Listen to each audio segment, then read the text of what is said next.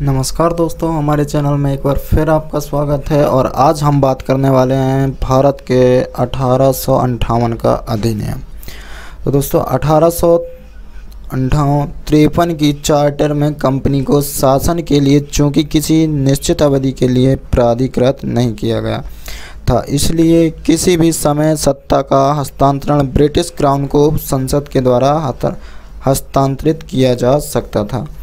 तो अठारह के गदर ने शासन की असंतोषजनक नीतियाँ उगार कर दी थीं, जिससे संसद को कंपनी को पदच्युत करने का बहाना मिल गया। साम्राज्य की सुरक्षा के लिए ब्रिटिश संसद ने कई अधिनियम पारित किए जो भारतीय प्रशासन का आधार बने। अठारह के अधिनियम के प्रमुख प्रावधान निम्न थे। पहला प्रावधान था, दोस्तों, भारत में कंपनी के शासन को समाप्त कर शासन का उत्तरदायित्व ब्रिटिश संसद को सौंप दिया गया।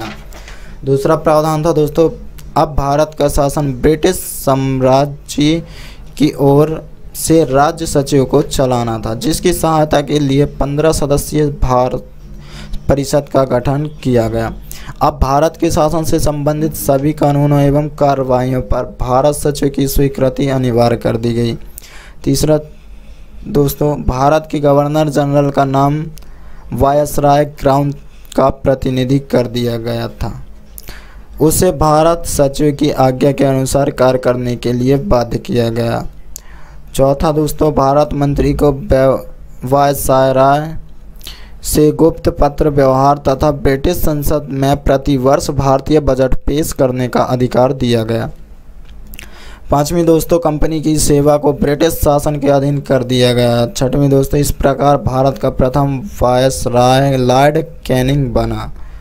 तो एक नवंबर अठारह को ब्रिटेन की महारानी विक्टोरिया ने भारत के संबंध में एक महत्वपूर्ण नीतिगत घोषणा की। इस घोषणा की महत्वपूर्ण बातें निम्न थीं। पहली बात थी, दोस्तों, भारतीय प्रजा को साम्राज्य के अन्य भागों में रहने वाली ब्रिटिश प्रजा के समान माना जाएगा। दूसरी, दोस्तों, भारतीय लोगों के साथ लोक सेवाओं में अपनी शिक्षा योग्यता तथा विश्वसनीय के आधार पर स्वतंत्र एवं निष्पक्ष भर्ती में भेदभाव नहीं किया जाएगा। तीसरी, दोस्तों, भारत के लोगों के भौतिक एवं नैतिक उन्नति के प्रयास किए जाएँगे। तो उम्मीद है, दोस्तों, हमारे द्वारा दी गई जानकारी आपको पसंद आई होगी। यदि यह वीडियो आप यूट्यूब चैनल पर देख रहे हैं तो हमारे यूट्यूब चैनल को सब्सक्राइब करें। यदि यह वीडियो आप फेसबुक पर देख रहे हैं तो हमारे फेसबुक पेज को लाइक करें, कमेंट करें, शेयर करें। धन्यवाद, दोस्तों।